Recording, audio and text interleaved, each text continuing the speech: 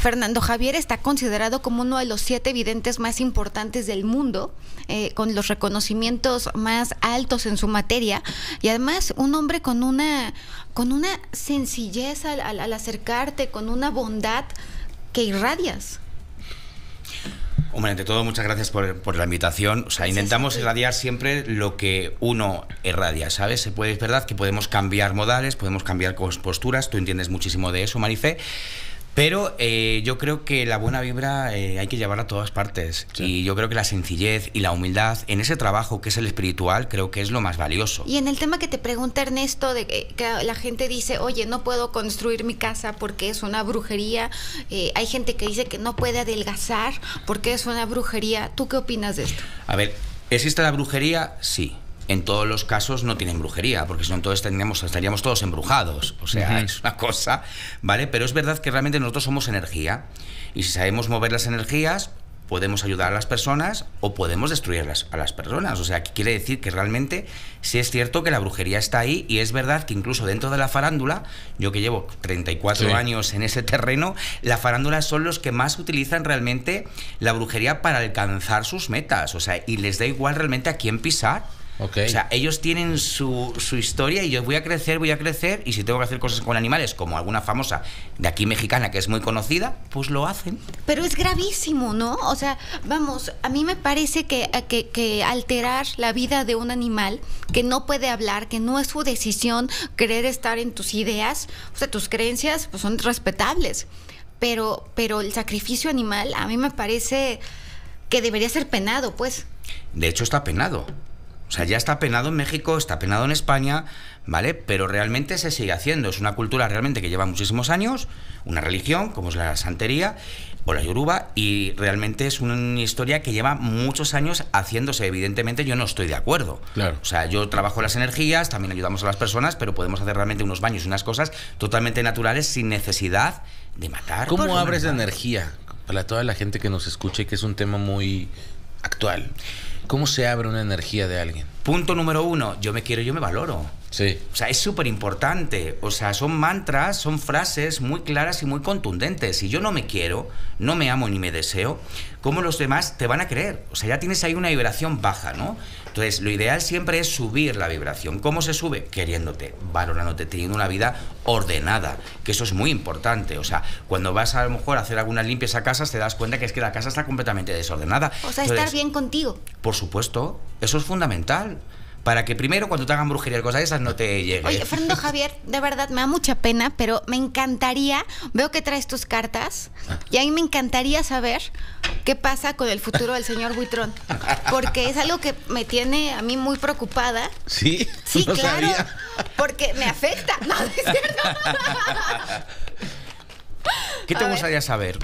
¿Qué me gustaría saber? Es una buena pregunta. Tenemos que partir de un universal. Yo creo que me gustaría saber si estoy en el camino correcto. ¿A nivel profesional te Sí. refieres?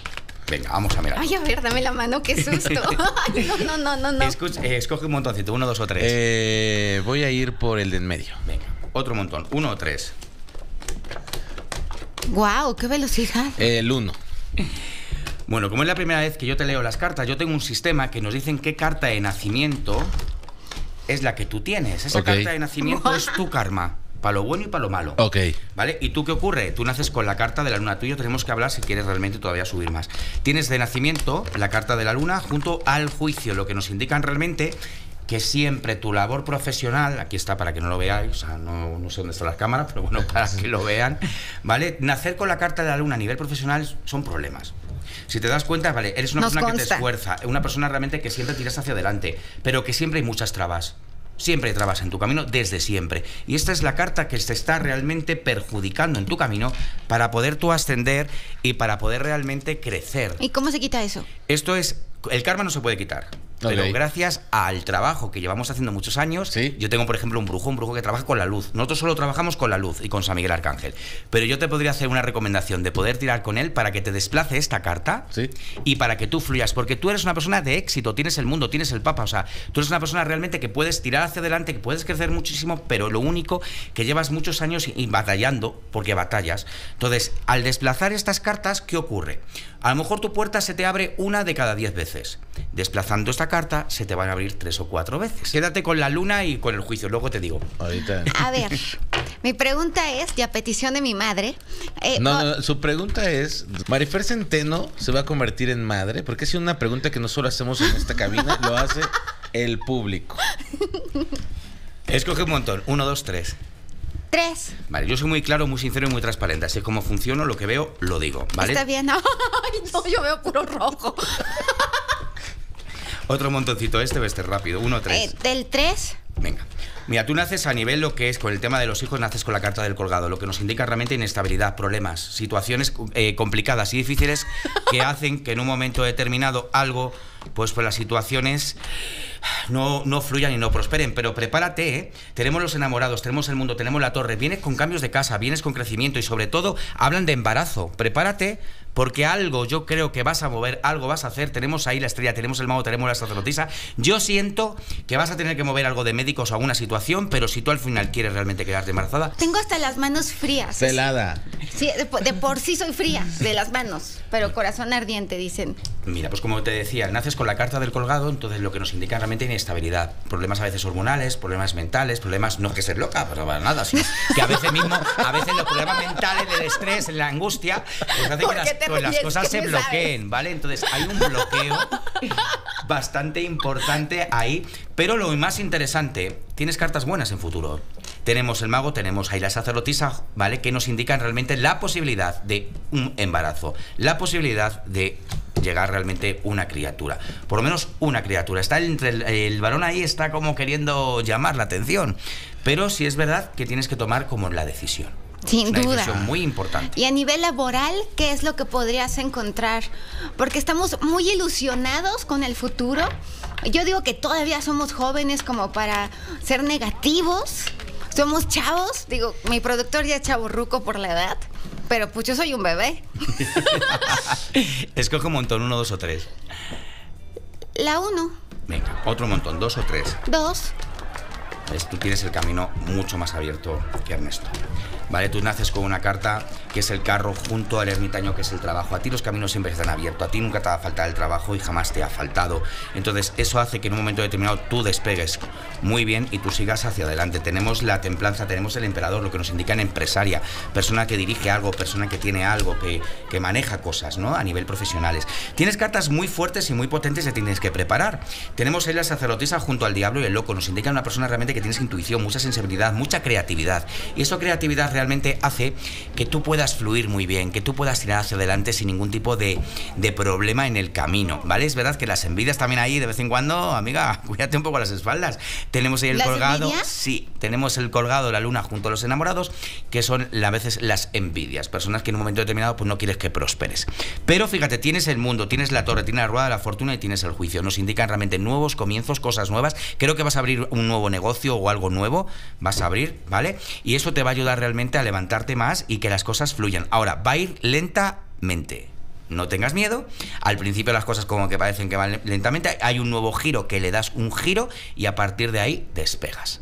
Wow, estoy impresionada, impresionada y, y muy agradecida y muy sorprendida contigo, Fernando Javier, porque eh, yo, yo, yo reconozco cuando yo lo sigo en redes, lo veo en redes, y de repente digo, ay Dios, esto es muy fuerte, ¿no? Y entonces, porque lo que ves es muy fuerte.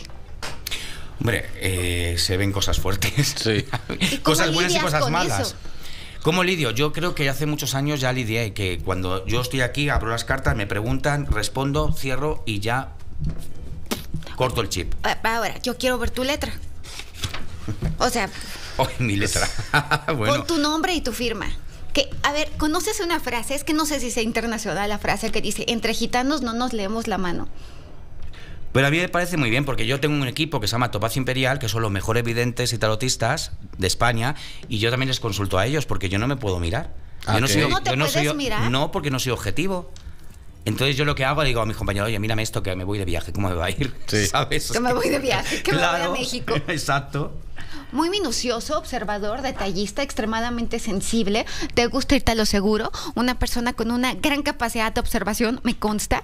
E hipersensible. Es un niñote anticonvencional. Es intenso. Es muy, es muy sensual y muy sexual. Todo lo que tiene que ver con el placer físico y con tu sexualidad lo, lo, gozas y lo vives como cualquier cosa. Porque además, eh, y con una intensidad que vives todo, que es impresionante, de un pasado complicado del que te has liberado eh, totalmente, muy clavado, tema que se te mete en la cabeza, no lo sueltas, eh, de repente está obsesivo y una persona muy orgullosa de sus raíces y muy orgullosa de su pasado y de, y de, haber afrontado y de, haber, de haberse liberado.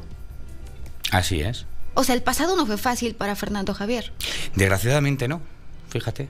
A los 10 años perdí a mi padre. Entonces ahí es donde yo empiezo además. Pierdo a mi padre y un día antes de perder a mi padre, él está en el hospital y me dice, hijo, me voy. Y yo estaba durmiendo. Él apareció y ahí es donde entra todo el tema del tarot. Ok. Oye, vas a tener un encuentro con toda la gente que nos está escuchando y seguramente con la que sigue tu trabajo. Háblanos un poquito de esta conferencia. Pues mira, me encantaría incluso invitar absolutamente a todos porque es una conferencia gratuita donde pueden ir okay. Ah, todo el mundo. Es gratuita. Es gratuita, es en el World Trade Center. Este próximo voy a estar del 21 al 23. Eh, voy a estar exclusivamente el día 22 a las 4 de la tarde. Este sábado, creo que es sábado 20. Es sábado 22 de junio. Sábado 22. Y ahí voy a estar dando una conferencia haciendo evidencia en vivo y en directo, sin cartas.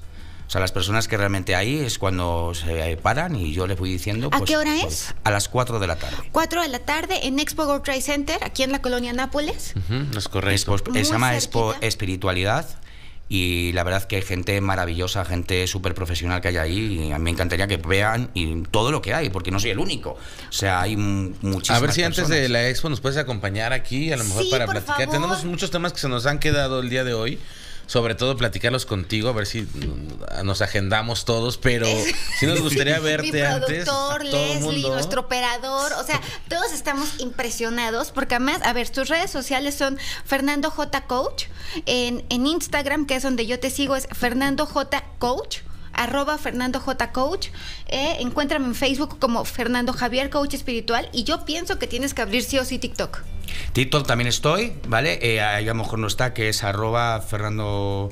J Coach creo que también. Veamos que me busquen Fernando Javier. Fernando Javier Coach, se lo encuentran en TikTok y nos vemos entonces en Expo World Trade Center Expo Espiritual 22 de junio a las 4 de la tarde.